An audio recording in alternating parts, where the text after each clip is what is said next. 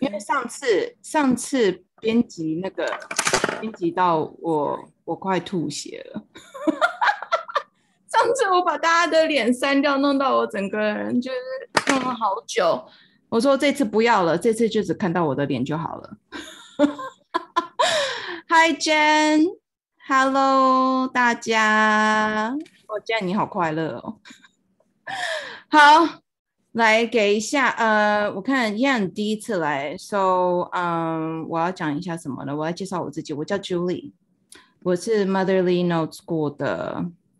主办者，然后呢，我以前是做 hedge fund 的，后来呢，因为一些原因，后来就变成就是离开我，我我我金融业，然后就是疯狂教小孩子怎么阅读中文跟数学，因为那时候小孩子生不出来，所以呢，就我老公就说，那你把你的工作给辞掉这样子，然后就。专心的、安心的去生孩子，然后我们就、我们就、我们就生，我们就搬到加拿大去，就是鸟不生蛋的地方。因为本来怎么样生都，后来一搬去加拿大，然后就生孩子了。然后我一直都是呃，很疯狂热爱，就是教小孩子阅读啊、数学之类。我看刚刚谁进来了？Veronica 吗？Hey Veronica, Margaret，你们希望我讲中文还是英文？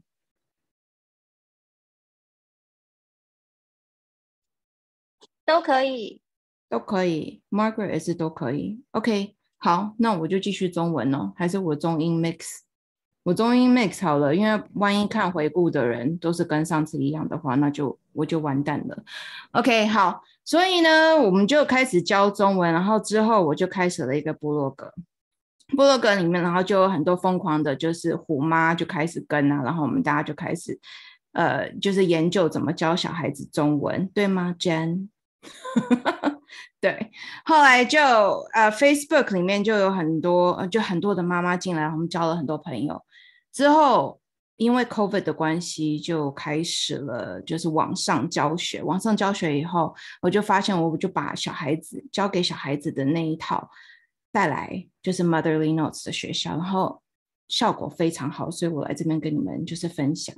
那上次呃讲到的就是上次讲到的是环境嘛，对不对？环境讲了一个多小时，今天要开始真材实料的，就是开始教小孩子怎么认字。Yeah，有没有很开心？So we're gonna get to you know the the recognizing the word part，就是开始一些呃基础要要怎么跟小孩子教字了。那 James，你的小孩子几岁啊？呃，我的女儿她快快六岁了，快六岁哦，那那很好，很刚好啊。这边有谁的小孩子是宝宝的？有宝宝的吗？我今天会从宝宝讲到。幼儿讲到就是大孩子，因为我们通通都有。OK，所以基础来讲呢，我如果没有 chart 的话，我就不是我就不是金融业，而且这个是我女儿帮我想的，因为她最近在学那个在学算算几率，还有一大堆的，就是在 AOPS 拿那个 counting and probability，所以他 最近在玩 Venn diagram。然后他说：“妈妈，你可以把它弄成 Venn diagram。”我说：“好。”所以呢，学语言就是看、听还有说。然后你如果三个都有的话，你就是等于在那颗漂亮的花朵那边，就是耶，我成功了。所以呢，在在你你你你达到这里之前呢，OK，before you get to here，right？你需要知道怎么看跟听。这两块做好之后呢，你才能说，因为你这边不够熟悉的时候，你的说就不会来，对吗？你们的经验也是这样吗？所以我今天就是跟你们讲听跟看要怎么开始。那其实有很要这个要讲完的话，可能要好几个小时。所以呢，我今天先讲怎么做字卡。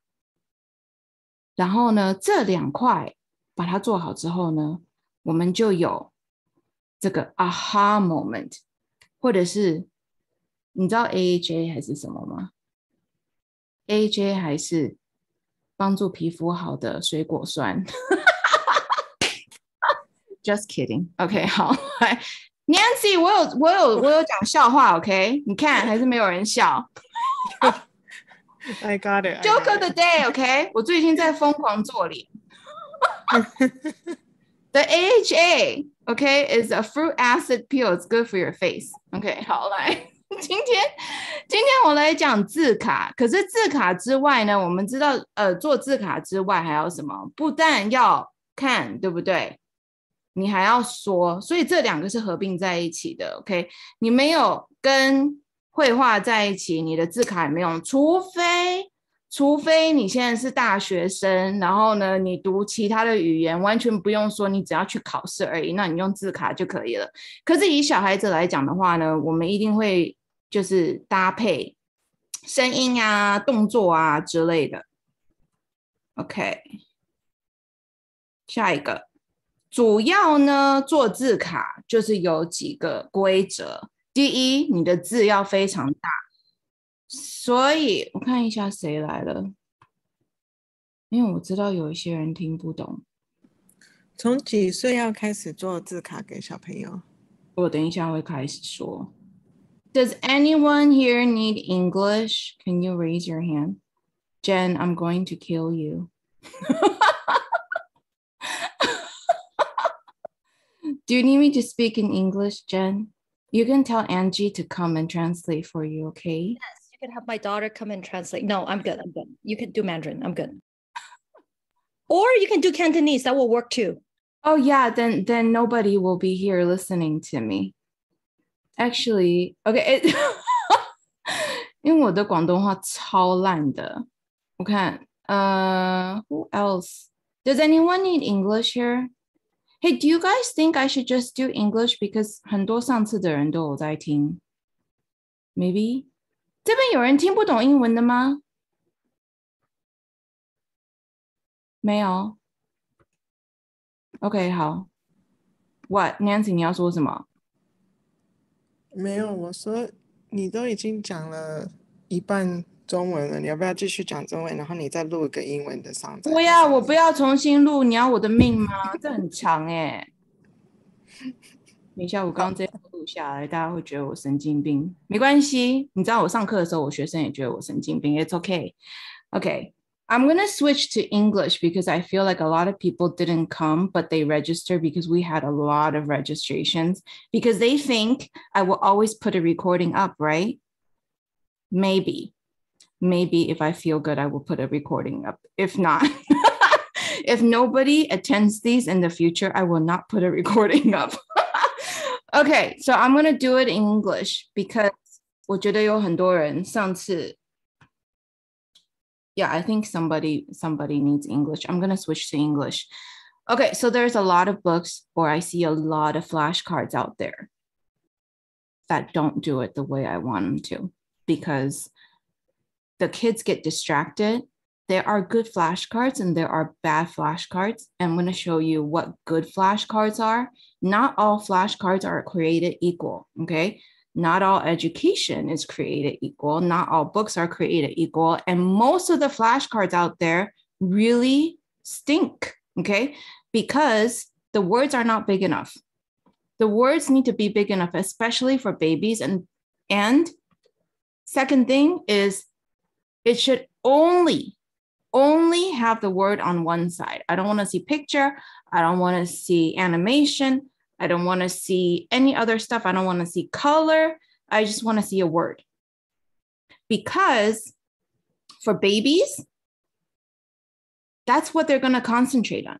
If you put little dots, little happy faces, little pictures everywhere, you know, logo, whatever it is, they're going to think, what is it that you're trying to teach me? So here's an example of, you know, how I do cards by age.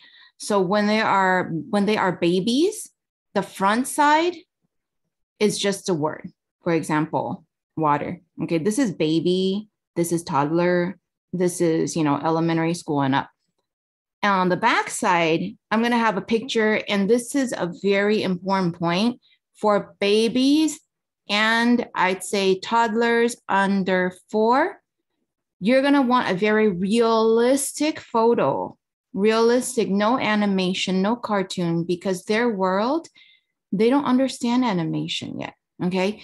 You're going to want just a very realistic photo of something that they've seen before. This is very important, or else they're not going to learn what you're trying to teach them. When you get to toddler, you know, very, very early toddlers, if they are fast, they can learn Zhuyin. They can do the phonetics or phonic system. Okay.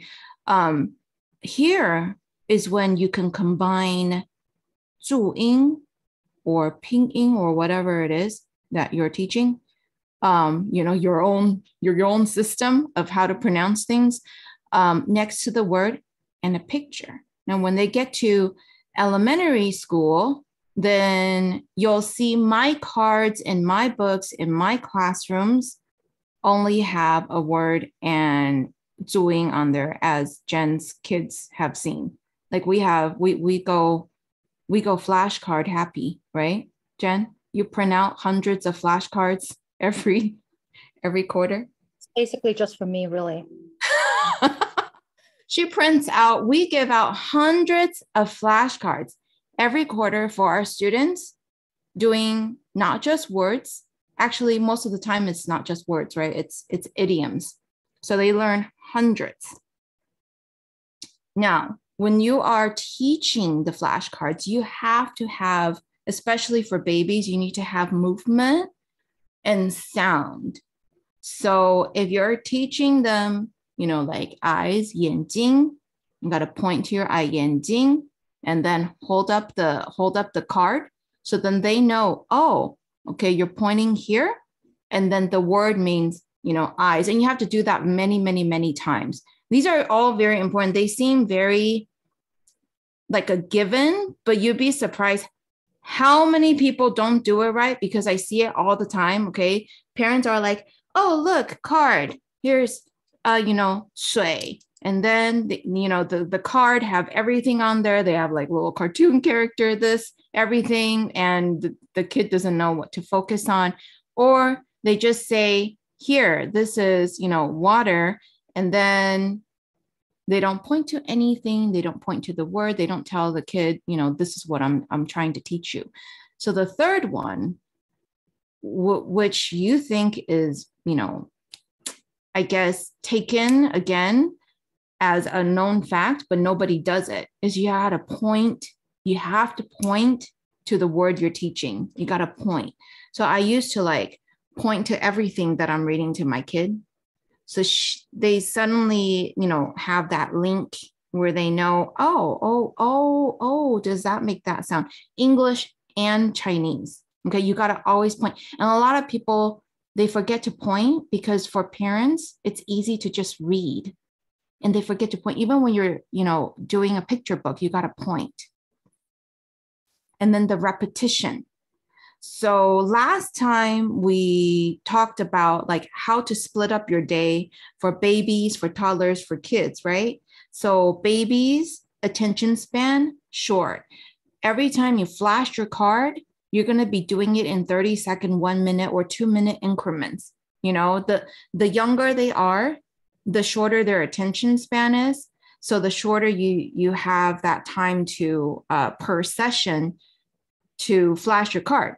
So let's say you are teaching, you know, five characters today. You flash them while you're changing your diaper, you know, um, like diaper, and then put up the diaper, you know, or go smelly, and then you go, ooh, smelly, right? Um, so you, if you change your diaper eight times a day, you're doing that eight times a day, and that's great. So the number of times you repeat for someone to remember something is at least 30 so it's at least 30. And the younger they are, the more you have to spread it across the days. So you have to keep repeating. Um, and then once they get it in their long-term memory, then, then you're fine. The other thing is we have a lot of students that come to our uh, school and a parent say, hey, you know the, the the fonts that you use, my kid can't read that. Can you change it to like book font? And then my answer is always no. No, I will not change it to book font because what do you mean they can only read it in book font? A word is a word is a word. What if someone writes a note to them? That they can't understand it, right? You have to be able to read it in all different fonts. So that means even if you didn't bring your word card out to say dinner or your friend's place or on vacation, you can write out, write out the characters and show it to the baby. And then they associate, you know, what the word really looks like and variate, variate the way you write it. You know, sometimes um, I, I write it. Sometimes I have my other kid write it. Sometimes I have my husband write it. You know, everybody has different handwriting, it's good to let them see different fonts. So in um, we we had a little we had we actually had a little comment from you know I put out the the set of books called 汉字一千 right learning 1000 characters we have that set out on Amazon right now and somebody was commenting like your fonts are all over the place I'm like yeah why did you do that I'm like because because I want your kid to be able to read the word in every context, right? They're like, can you change it? I'm like, no. so you better learn it in all fonts. Um, so when you're at home, make sure you do cards with varying fonts. Okay. And number six, I know aggressive parents want their children, want their babies to learn very, very hard words, but sometimes it's not appropriate because it has to be relatable just like I said last time, it has to be relatable to what they know and what they understand. So for babies in their world, it's cry, laugh, smile, eyes, nose, mouth, hair, you know, give me my milk. or, you know, play with me. Or this is a chair, or this is a table. And then, you know, when you get to older kids, then, you know, you switch it up but it has to be appropriate for the age. So when you buy those set of cards that are already made, a lot of them you have to take out the stuff that you know your child doesn't understand. Like if they haven't seen England or sometimes I'm always you know Ingol on the card, right? Or I don't know, something vague or ambiguous. Um, take it out. Take it out. It's always in the cards, but don't use it. So Nancy asked, when can you start to teach um, the stuff? Does anyone want to have a guess of when you can start? I kind of gave a clue because I did say baby. But like, do you guys want to take a guess? Two years old. Two or anyone else? See, Jen, I like teaching class a lot better. I know the answer, so I can't be saying it. So keep going, keep going. You're doing great. Like my kids answer me. so here we go. So the answer is you can start as early as three months. That's when their eyes start focusing. So before the eyes can focus, they can probably focus like this close. So make sure when you're doing the card, you're not like all the way across the room or something, right? Um, you could start at three months when you're changing diaper, do the word really big, like eight by 11 sheet of paper, okay? Something very huge so they can see. And then make sure you put it like within one foot or two feet of their face so that they can see the word. Um, so I'm going to talk about babies first because we'll go into um this is my kid when she was not one yet. I told you I'm a crazy mom and I live by the fact that I am kind of crazy because I I study, live and breathe uh education, right? Um so I did start flashing my kid at 3 months and when they don't talk and they don't understand you, life could get really, really hard. But the moment that they start reacting to things that you teach them, you get this big reward. So at um, my kid started standing up before one years old. She was always a little bit nuts, but I I started flashing them at three months. And at eight months, when they started sitting up, they started reacting to my cards. Um, and that's when that's when my husband and I got super excited and knows that this works. So this is we've been flashing, we've been flashing her card with like nonstop being like an idiot talking to ourselves every day because you know babies they're like a blob of meat right you talk to them and they're like Blah. and and so um this is when we started reaping rewards and i'm going to just show you like my daughter. She can't talk at this time. She's one not even one. Actually i think this was around 10 11 months. Um and she she could read. She could read chinese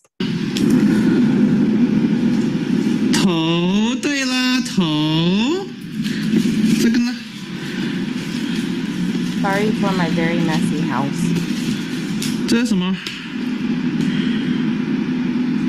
对了，脚，对了，脚。这呢？这什么？手手，对了，手。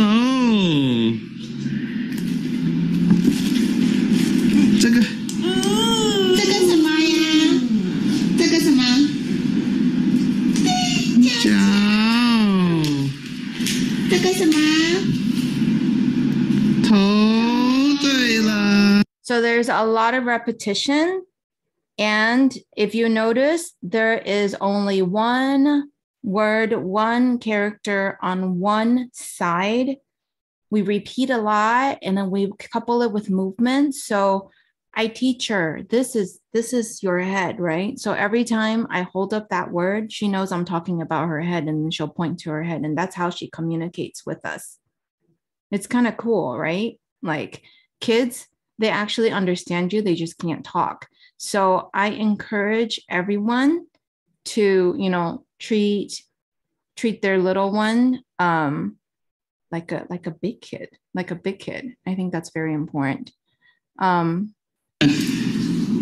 I'm sacrificing a lot because this is the time where my house was messiest. Nancy knows I'm usually a freak. okay, and I am like blasting how messy I was when my first kid came out. And this is more. This is uh when she was one. And we used everyday terms, as I said before, you know, you use stuff that they understand. So this is uh beats nose.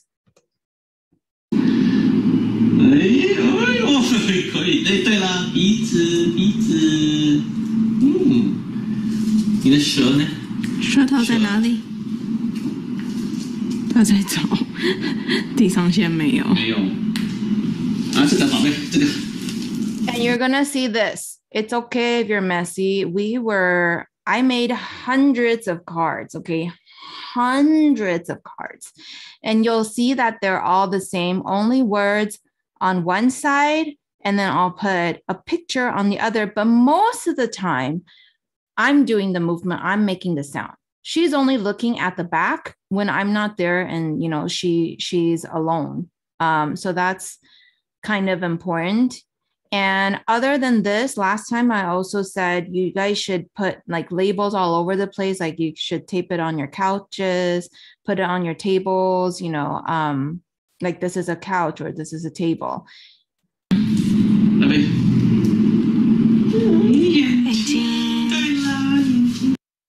Okay, that's a repeat. this is where, so dog, right? She knows what a do- the sound the dog makes, and when we go out for walks, we see people walking their dog. So every time we take her on a walk and see she sees a dog, I'll be like woof woof, wong wong, you know, or I'll make a dog sound and she can't speak that well yet you know at this age um, so she knows that dogs make that sound. So that's how she responds to, she knows this word. 狗，狗。嗯，你就整篮拿过去嘛。他知道打，他知道打，他知道打。你知道他为什么在笑吗？因为他看到地上有“笑”这个字。那什么？ 然后那是打，所以他会讲打鼓。我没有教他打人哦，我是说打鼓。所以打是打鼓，OK。然后再来就是，我就说，哎，你一边教，然后现在要开始教，就是他们怎么讲话。其实他他已经想要讲话了，and then they- they make a lot of sounds. Sorry, I forgot to do English. They make a lot of sounds, right? And they want to talk. They want to talk like you. But how do they talk? The, the more they listen, the more they're going to talk when they are ready. And that that goes for all ages. That goes for um, like elementary school students. A lot of people say, "Hey, um, my kid, they understand Chinese. I talk Chinese to them. They don't talk back. They they resist to speak in Chinese. And guess what? It's because they didn't listen to enough. It's not enough. They're not confident enough. You know, they need to listen to more and more and more until they go, Oh, I've heard that like 10,000 times. I can say it. That's not a problem. You know, you need to listen to it enough in order to start talking in Chinese. It's the same with kids. And sometimes people think I'm crazy, well, like they do now, right? So I'll take my baby in my arms. We always lived in an apartment building, you know, in Toronto or or Boston. I've always lived in the big cities, and then I will go to the. I'm waiting for the elevator. Some other person comes in the hallway. I'll be talking to my kid, you know, who's like drooling, going right? They don't understand me. Looks like, but I'll be like, "Mommy's at the elevator." You see this? These are buttons for the elevator. We're going to go down. This is the down button. You see this? I'm going to press the down button. Now I'm pressing the button. Oh, now I've pressed the button. Oh, the button lit up because you know what? I pressed the button. So I seriously had my neighbors look at me like, like I'm crazy, right? But how else are they going to know that this is how you say it? So then the moment that they talk, they're going to be like, Mommy, I want to press the button. Mommy, it's lighting up. You know, Mommy, this is happening. Um, but I did this, you know, I'll, I'll get on the elevator, and that's even more embarrassing. So I was always embarrassed all the time, right?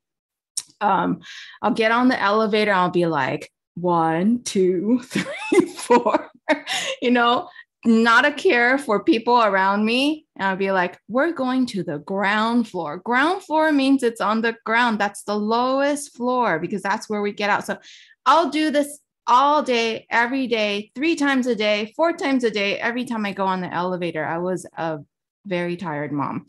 Um, but what that brought was a lot of conversation. So I have another daughter. This is her, me and her playing. And when we play, I always put words on her play items. We'll draw things and we'll do role play. Um, this is my other daughter. Oh, well, this you're the narrator. I talked about that. People might think you're weird, which they thought I'm weird.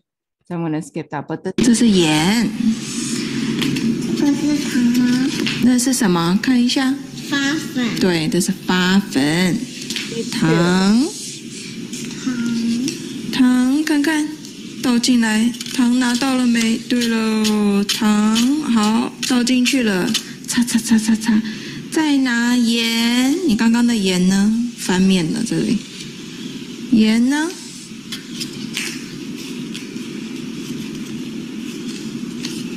盐倒进来，然后再摆一点牛奶，咕噜咕噜咕噜咕噜咕噜咕噜，然后一个鸡蛋，两颗鸡蛋，有两颗鸡蛋，鸡蛋呢？两颗。哦，只要打两颗就好了。咔嚓，咔嚓，扑咚扑咚，弄进去了。然后最后我们要放发粉。你刚刚自己丢到远远的地方，发粉去哦，很多会怎么样？膨胀。会膨胀。来倒进来，哇，倒这么多啊！倒了这么多以后怎么办？到时候会怎么样？三四五六七八五六七八九十，哦，一二三四五六七八九十。哎呀，哦好，全部倒进去了，然后把它揉成面包形状，小面包形状在哪里？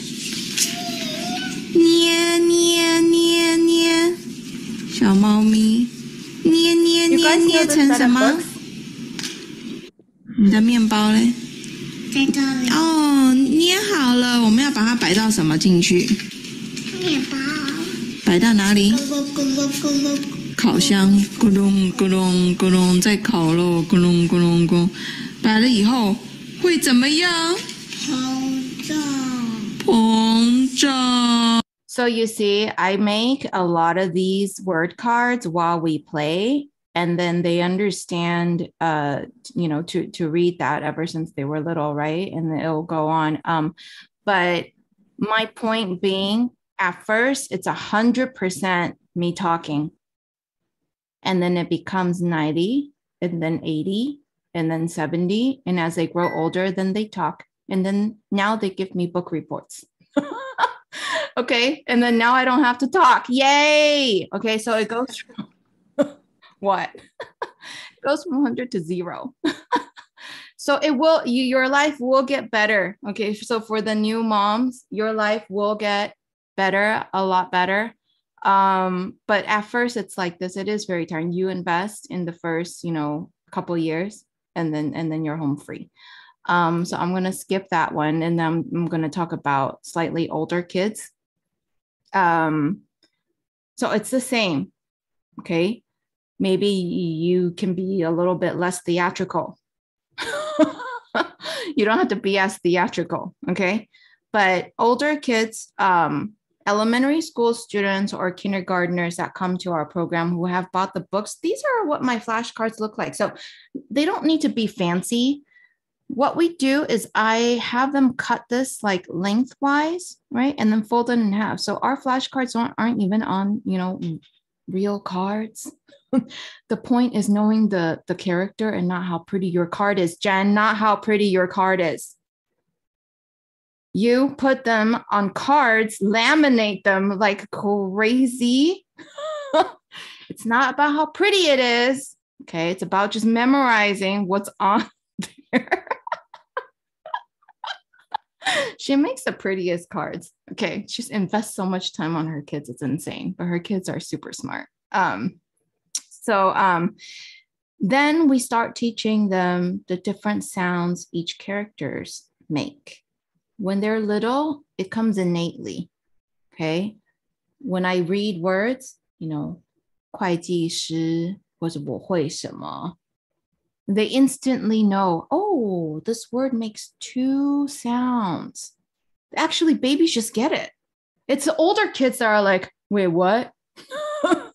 so for older kids, we list them out and they're like, oh, wait, why'd you guys do that for? I'm like, I don't know. It's Chinese. All right. Just memorize it. There's no why, just do it.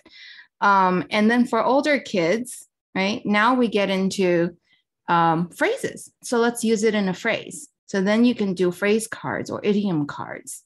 So um, in our in our books, we give these four character phrases or idioms to couple along with the character. So these will be characters that they've all you know just studied, and then we'll we'll put them on like you know three per page. We'll go over it in class, or you go over it at home.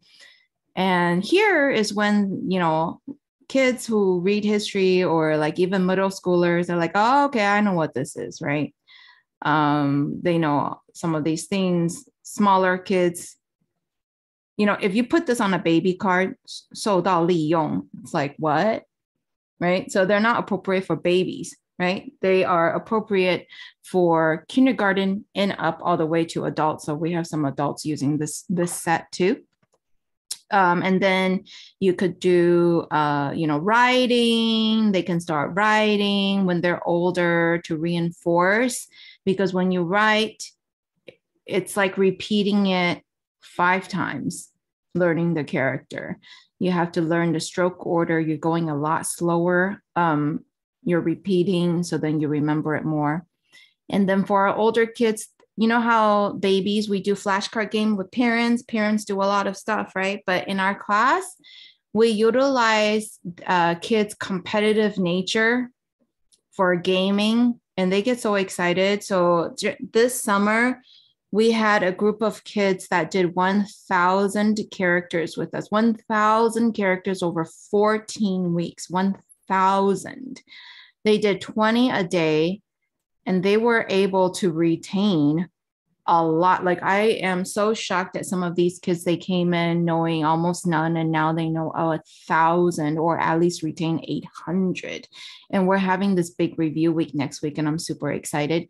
But we do flashcard games online where they compete against each other. So then now there's um there's like a social factor, or you can do games at home, right? Where I don't know, you can compete with your kid, right? See who's faster. I don't know, make it fun. So in class, um, we have like 10 kids, they fight against each other, and then they get ranked one to 10, and then they study because they don't want to be the last one, right? So, and then comes a very popular question for the US. I don't know, for some reason, like the US is really fixated on, I know this many characters. Am I okay now? I'm like, I don't know. Are you okay? You could you could know a thousand vocab words in English and you still can't read, right? So um it's not about how many you know, it's about also comprehension. Okay. So some people they come to the program, they their kid memorize, you know, a thousand, fifteen hundred characters. But then when we read to them or when we do uh like bridge books, they're not understanding a lot because they don't know how to piece it together. And we teach a lot of idioms. And you know what? For Chinese books, if you don't know the idioms or the harder phrases, you're not going to be able to understand. So, um, well, the, an- the quick answer is, you know, as much as you can.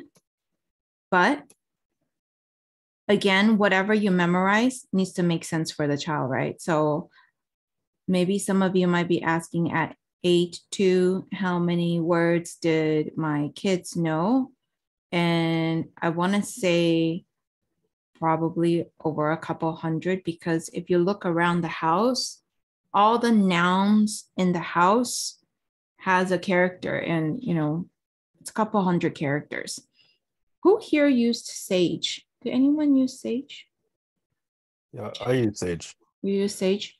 So by the time like so there was this craze about sage and then so i was like i don't know what the craze was so i bought it i bought it but i think i bought it too late um, because by the time i introduced it to my kids my little one at three my older one at five they went through the books and they already knew all of it. So if you if you're at home and you say I, you know i don't i don't have sage that's totally okay. Or you use another set that's totally okay.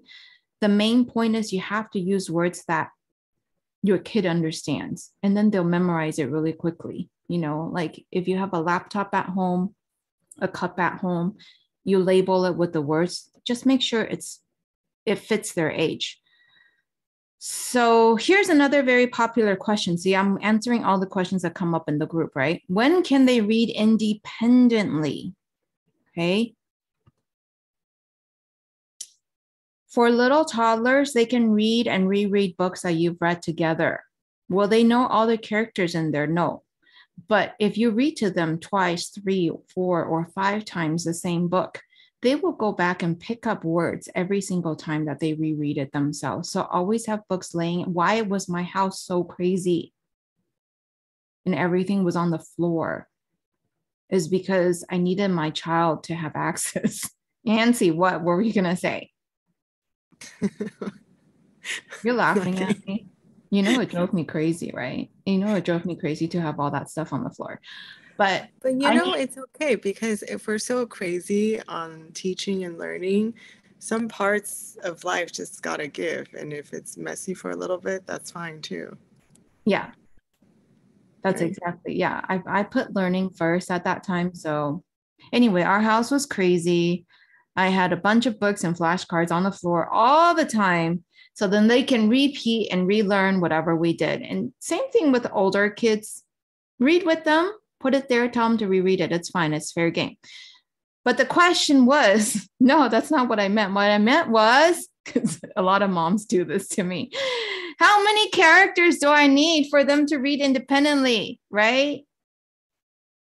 And I always go back to you got to have first have comprehension. Okay. Once you have the comprehension, this may be hard to accept, but you need 3,500 characters. Comprehension first, then 3,500 characters that you recognize. You do this over the course. So, so like people in Taiwan, okay, they do it until they're in sixth grade. So they have until sixth grade to, to do that. And some people want, say, you know, there's a lot of controversy with this thing right here, Zhuyin. Does anyone learn Zhuyin here? Anybody? Yeah. Jen? Yeah. yeah. Okay. Veronica? Great. It's, that's not a question, that's a yes, right? There's a reason why it's invented because there's a lot of good stuff that comes with it. Because at age, uh, let's say second grader here, a fast second grader here can read Harry Potter, right? You're not going to be able to read Harry Potter in Chinese in second grade here unless if you have this and this. And most of the time, you cannot in- invest that time for them to to get here. Okay, so you got to give them books that are just as interesting without knowing 3500 and you got to build on comprehension. So the filler here is zhuyin and then here's where here's where a lot of people that are not on this call or are saying with their muted button i grew up in hong kong. We did it without zhuyin or pinyin okay we did straight character. Yeah. And you also went to school you know six eight hours a day memorizing those characters. You know people in china they make their first graders memorize 3000 characters. We're not doing that here. And what happens is your child so a lot of people do the the sage 500 where they memorize that that i don't know who it was that started it in the us but they say 500 characters was enough right? But it's totally not enough. You do the 500 characters and then you see this fallout in the first and second grade of your child just not wanting to do anything with chinese anymore it's because it's not interesting so going back to last week that environment when i said bring interesting material you, it has to be interesting. And if they can't read interesting books, they're going to stop reading. Okay. So this is why I, you know, taught Zhuyin because in Taiwan, they have all these interesting books up until fifth and sixth grade. So I know I always have access to the stories that my daughters need to read, even if they don't know 3,500 yet, right? Uh, until they reach that point, I'm never going to run out of books for them to read. And that was so important to me. You could do the same with Pinyin, but I'll tell you the, the books with Pinyin, I think they only go up to second grade level because in China, they don't need Pinyin beyond second grade. They already know 3,500 and up characters. Okay, so you're going to miss out um, on a lot of books past the second grade level. So then the, the stories just aren't interesting at the second grade level. Um, I I'll talk about how to teach Zhuyin and it's important, but I wanted to touch on a few things like Zhuyin is great because it looks like miniature Chinese characters. It has the proper stroke order for you to write later.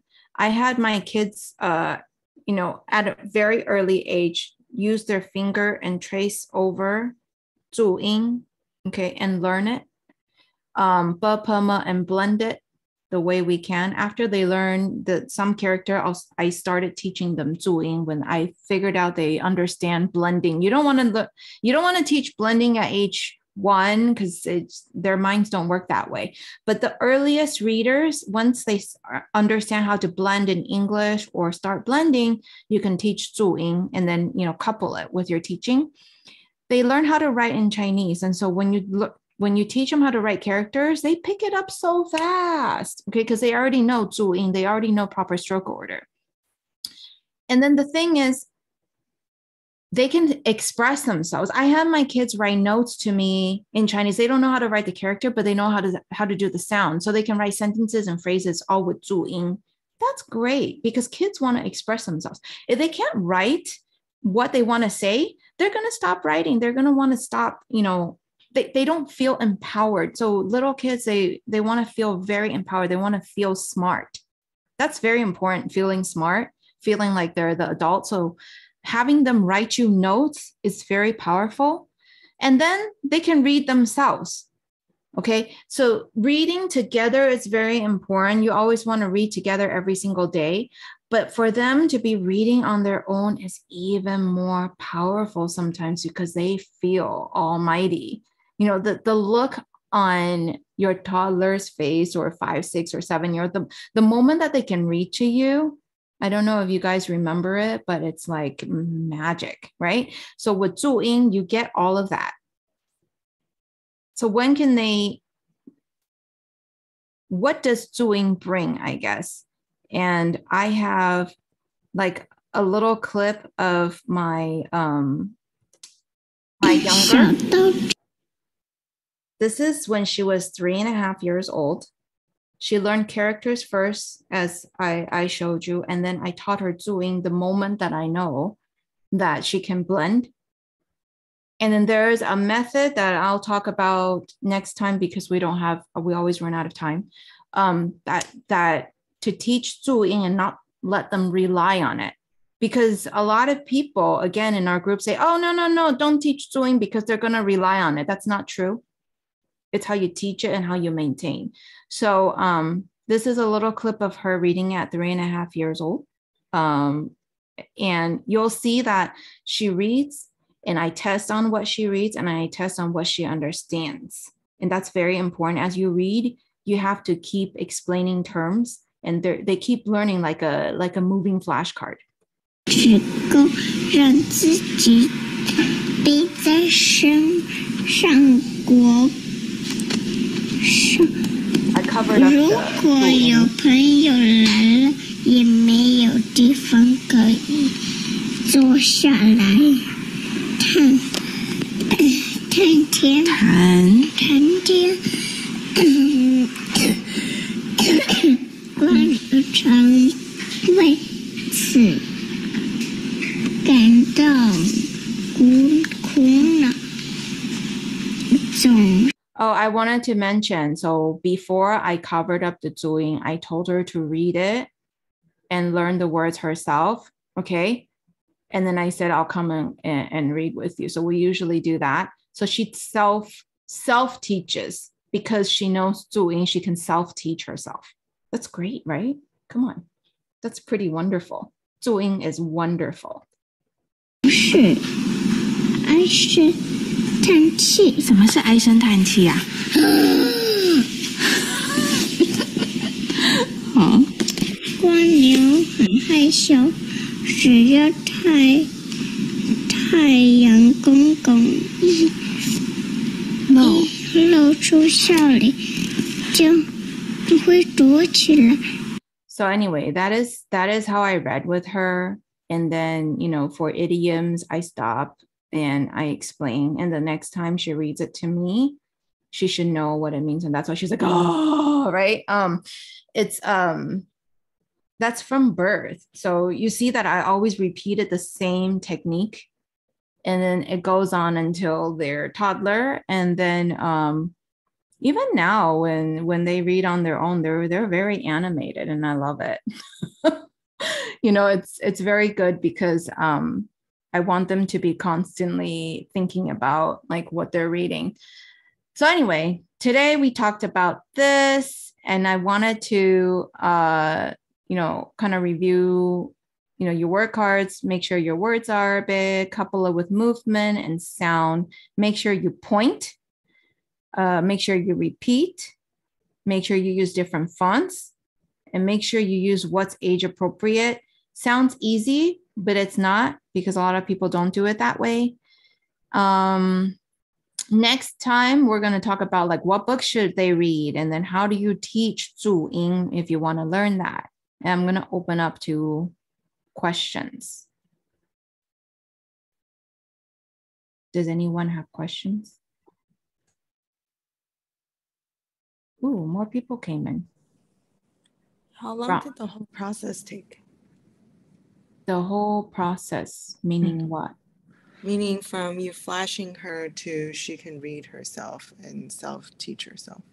Mm. So from I flashed from three months until I think the first time they responded to me was at seven, eight month mark where they pointed. I'll take I'll take two cards. I'll be like, 哪一个是鼻子? Okay, which one is nose? And then they'll like hit with their hands like which card it is. And I kept doing that just to make sure that they really knew the word and not just like randomly hitting things in the air, right? So that that's when they started knowing. That's the first response that got us like super excited and then it was like the sounds I started making and you know the whole you know feet and then they you know she wiggled her feet it was like that was a crazy moment. But if you have older kids, like toddlers, like five, six year old, you can get them doing that in day one. Day one. The only reason why babies took longer is because they don't know how to talk to me. They don't know how to respond. They don't know what I want them to do yet. Right. And they're not as the, the mobility is not there yet. Veronica. Veronica. Veronica. Yes.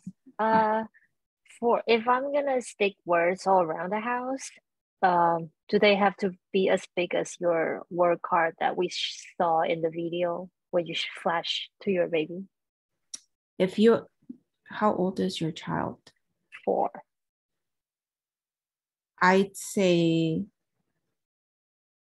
I say it makes sense for four year olds to do at least, you know, letters, letter size, one fourth of letter size. Okay. Okay. Yeah. You don't want to go too small. Yeah. I I had the half page, th- those were half page, and I just printed them. Um, half page till end of age two, three-ish. And then you can go with slightly smaller. The older they are, the smaller it can be. Got it. Okay. Thank Yeah. you. Hi, Michelle. Hello, I'm here finally to unpack my kids and put them to sleep. Hello. Anybody else have question? Michelle 是我们的 Cantonese 妈咪，有 Cantonese 的问题可以问 Michelle。 对对，我 um my my kids are also fluent in Mandarin. So Yeah. if he can read a book in Mandarin, he can read it in Cantonese too. Yeah, her kid is amazing. He's And- always in class, and we have him read like 没有注音的漫画, and he could do that perfect. Anybody else have question? Well, he has some Cantonese accent. He does. Just very, very strong Cantonese. Cantonese accent, but I can understand him. Okay. but I Chinese think is very good. the, the um the good thing is that he's not afraid to speak. I think that's a good thing. He's he's not afraid to make up some sound, even in Cantonese or in Mandarin. He will just say it, and then and then um 现在 um you know how when you see Chinese characters. 于是我们说有边读边，有边呃没有边就读字字，就是这样子猜一个字出来是怎么样。然后 when he says something in Chinese, I have to guess because now he's reading a lot of difficult words that he may not. I have I I personally have not taught him, Mhm. so he recognized half of the ca- characters, and so he would just say it, and then I I know that he understand that word, but then he didn't pronounce it correctly. But then the mm-hmm. good thing is that he continues speaking it. He's not afraid of Yeah. making wrong, making mistakes. Yeah. Yeah. No, he's definitely good. And he comes like to our classes every single day. He's listening and listening and listening and listening, running mm. around, but listening. But my my daughter, she's now two and a half, and she's also recognized a lot of characters now. So I heard the parents saying, "Oh, how long do you do flashcards for?" So I didn't start teaching my daughter until a few months late uh, ago, which is two and a half. But now she can recognize about ten characters in just two months from daily readings, and um, I put flashcards around my house. So yeah. Mich- Michelle is one that puts flashcards in her, like next to her toilet, in the wall, in her restroom, you know, like they have them everywhere. And it's probably easier for you the second time around because you already had it for Marcel, right? So, yeah. yeah. but then you don't have to laminate them. Um, I mean, I think she has more fun playing with the post-it than the the nicely printed laminate card. Yeah. Right. So Yeah. whatever, or you just play by sidewalk chalk. Like I would in the summertime, I would just write some random characters and then ask them to use the water gun to spray that word. So these are some fun things that they can do without flashcards. Yeah. And it will be different fonts. No, you missed the part where I said you got to let them see you write oh, it, read it in different fonts, make it big, make it small, make it messy, make it neat. So then they can read in all fonts. Okay. Yes. Yeah. So any more questions or? I have a question on your the classes you offer. Um, Yeah. So I didn't. I started teaching my daughter Chinese probably when she was four, so she's starting to speak, and um, we're going through stage, and you know, go- getting through like finally getting through like the first hundred or so characters, and it's like she's sli- she's somewhat functional, but still very shy to speak, and so I'm trying to understand like when can I get her into like some online classes? So because I feel like I'm the only Mandarin speaker in the house, and so there's not a lot of opportunity for conversation, right? And so I want to Mhm. find more conversation for her. Mhm.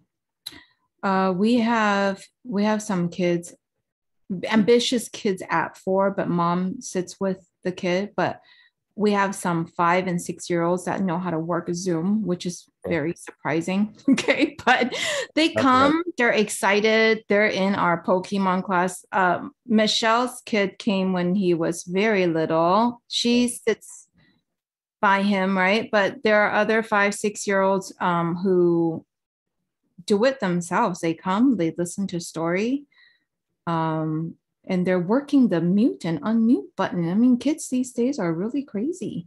Oh, my daughter plays. My daughter plays Pokemon Go, and like, Yeah. So amazing. they know how to work it. Then they can come and they can sit and come chit chat and come, you know, listen to stories or do the do the flashcard game if they wanted to do the the Hanzi 1000, right? Um, but I would probably ease them in and but you already taught Zhuyin, right? Yeah, I mean, she's been in what she did one year of uh, like Saturday Chinese school. So I think there's a lot of the pieces are in play. Just like I'm trying to find ways to just get her more ex- conversational exposure. Yeah. Yeah. So um our so our classes, so I I design our classes to fit US Right. ambitious tiger mom. I don't know. You guys know my classes are so different. So for our Zhuyin mastery class, we retyped Dola A Mong, but in Okay. in all Zhuyin, right? oh, fantastic! I have that at home, so it's but we typed it. We I had my teachers type, retype Dola A Mong in Zhuyin. So they're learning Zhuyin, they're writing okay. sentences, and Okay. they're reading something above their age level, Right. but yet writing and reading and doing and getting very fluent and efficient at it. Mm-hmm. Um, and that's our, you know, Zhuyin mastery level. First okay. grade level, Kangshen, we use uh, Kangshen text, but the writing is very simple because Kangshen, I think the first lesson was like 一二三四五六 or something like that. Yeah, yeah. And it's, it's extremely boring but it's for writing. Okay. So what we do to complement that is because because we have a lot of moms like Michelle or Jen or you know Nancy, their kids read really fast because you guys keep on, you know, doing the thousand character, 500, whatever it is. So our reading material is always harder. So what we read in class would be like bridge books, but then what they write would be, you know, first grade Kangshun, if that makes any sense. Um, and then we have a mixed age in there. Okay. Okay. That's, that's thanks. Thanks for that. That really helps me think about it. Yeah. So you could, I mean, people, you guys can do the same at home. You could have them write you letters and 注音, right? And read something harder. So that's what we do in class. And then we first first grade first level Kangshun, we were we're teaching idioms already. We teach idioms in our Zhuyin class. I mean, we're teaching idioms like the moment you step into our classes. Michelle and Jen know. They're like, "Can you give me a list of everything you you taught?" Some moms ask. I'm like, "No." because because I think one student who's taken my classes from the beginning of time till now has like over a thousand or 1500 or I don't know how many Jen has now. I, I lost count because because it's a lot. We the moment that you step into our class, it's it's gonna be phrases and idioms. I think that's great for like because that's actually where we struggle at home. It's I can I can do very basics, but I'm not that creative, right? So I think, you know, okay, okay. I think that that really helps. Thanks. Okay. Any other Michelle? Oh, I just want to comment like the way I see her class, um, Julie's class, is that instead of giving my my child like an hour of nonsense entertainment at home, I just open, you know, turn on the screen and Zoom and do the entertainment. This is my my child's entertainment. I don't see it as a class. So instead of me reading the story or he watched some other stuff on YouTube, he see, you know, they play um, they do comic book or play games on, on screen. So that's my son's screen time. that one hour screen time, daily screen time is Julie's class. Yeah. we, we try to. We try to make it entertaining. We are, you know, we're we're not teaching, we're entertaining. Yeah, so that's my my child's um entertainment and no other screen time um during weekdays for school days. So I don't see it as a class, and he doesn't see it as a class neither and then he got upset that like we don't have internet asset, assets when we are camping. And then like oh i cannot play pokemon the, the, the class. And then they got upset. You guys got internet. I saw you guys camping at the pokemon class. Just one time. And then the other time we we were out and then there was no other reception beside the uh, yeah. the glamping site. Yeah they get crazy in that class with the comics. It's so crazy I don't understand the whole Pokemon oh, mm-hmm. phenomenon thing. No, I, I still I, don't understand it. Yeah. but they have fun in there. Well, Jen, Jen's Jen's kids are are older, so they they might have a different experience on whether this is entertaining.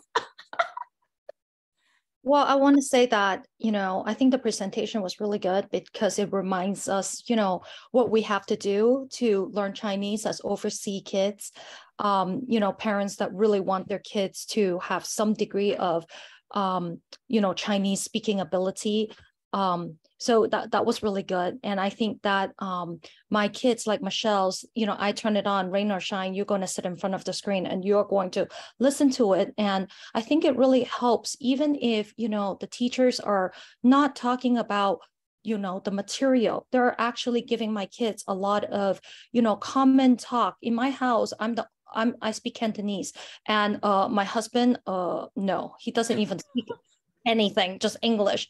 And it's you know it's so hard for us to even get the Mandarin in, and I don't really want them to hear my bad, bad, bad Mandarin. So you know that hour or more um, of every day Chinese contact is so much more effective than a large dose of um, Sunday school or Saturday school um, that we were doing before.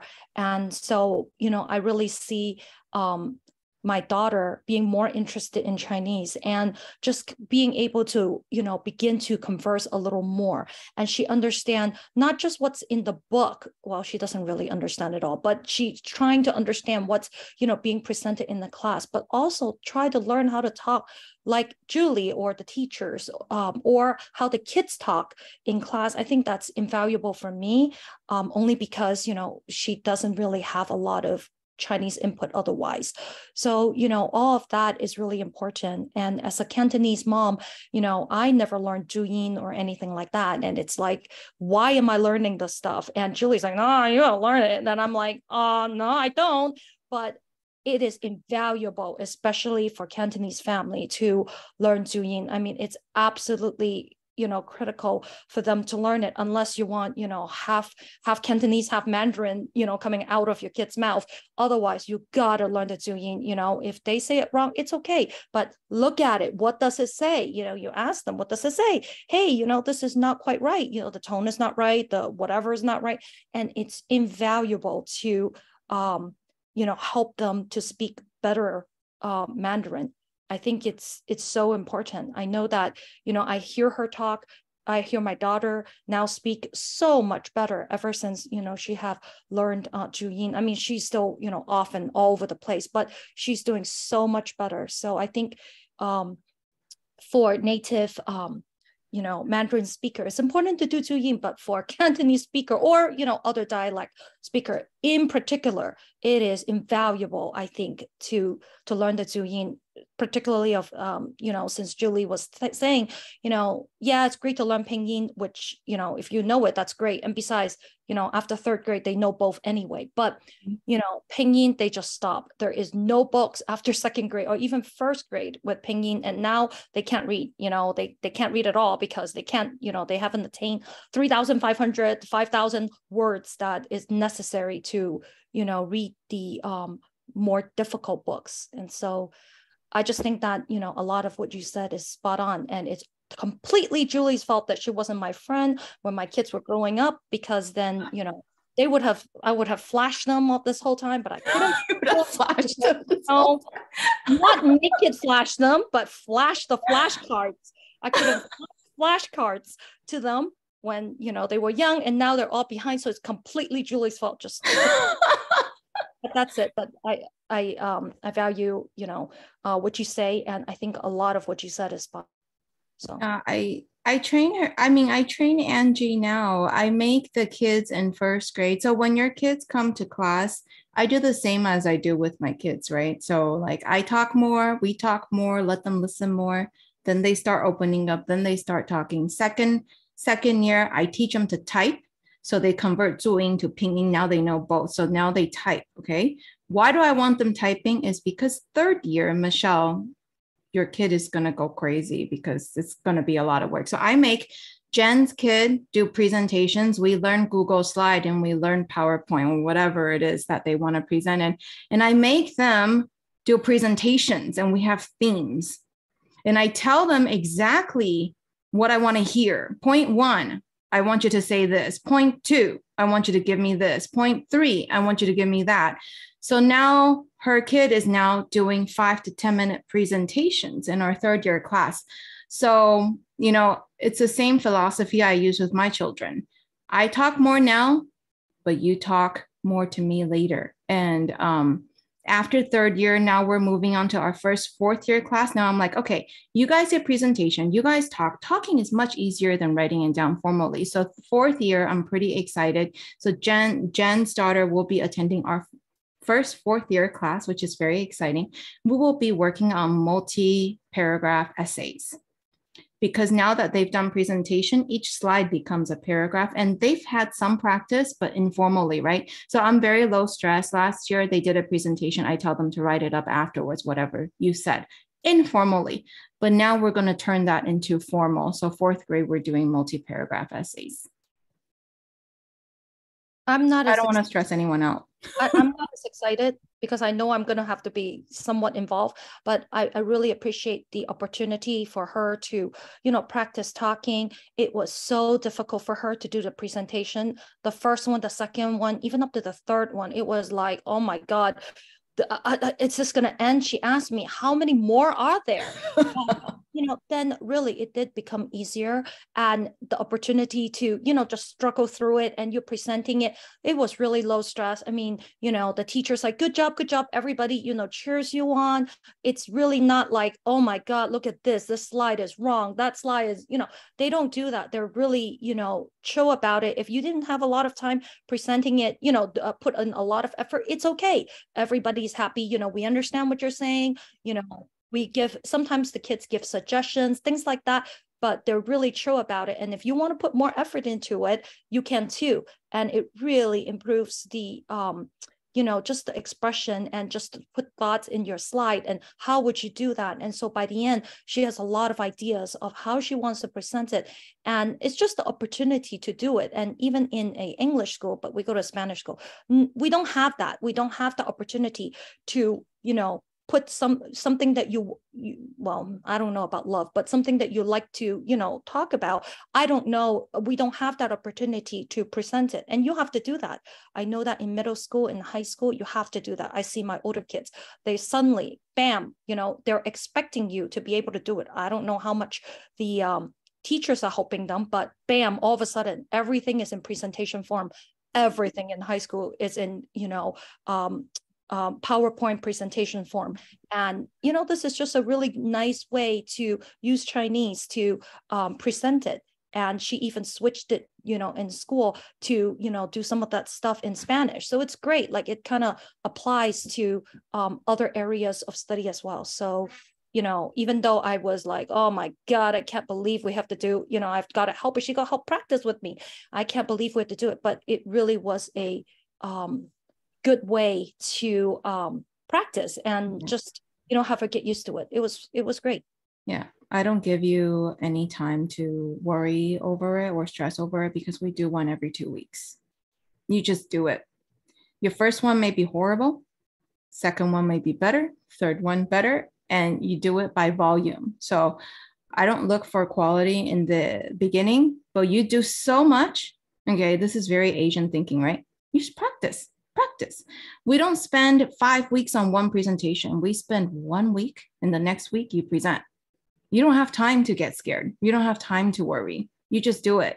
And I wanted them to have a, a safe space to just make mistakes. Everybody's making mistakes and just do it. So you guys should, if you guys don't attend class, you guys should do it at home and let them, you know, practice because that's a way to practice speaking once they are, you know, third year and out elementary school. If you want to see a sample, I have it on my YouTube channel. There's like a list of Save the World, whatever. Those are all from our third year classes. You guys can see a sample with our what our third year students do. Any more questions? We're over again. or everybody good? I just wanted to ask, is there a place I can rewatch the your talk on environment setup?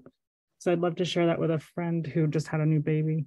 Oh yeah. Um it's on it's on our YouTube channel. Okay. I put it on our YouTube so they can go and uh, rewatch that. Okay, thank you so much. No problem. Thank you guys for coming. I think when um yeah, I think reading Julie's blog, the whole entire blog is helpful too if you're not able to attend any of these seminars, because that's what I did. I read the her entire blog before and then like kind of got started how to teach my kids Chinese. So spend some time doing it. And you've got friends who are pregnant, have plenty of time that do that now before baby's born. Yeah, when you're in ba- baby stage. So just blast blast the video because that's how they should get set up, you know um, spread the word. Let's all have little geniuses flying around. okay. Um, thank you guys for showing up because there's like a lot of people who register who didn't show up. all right. So have a great night. And then until next time, we'll go over some books and how to how to actually teach Zhuyin. Thank Thanks, you. guys. Thank you. That was great. Thank you. Thank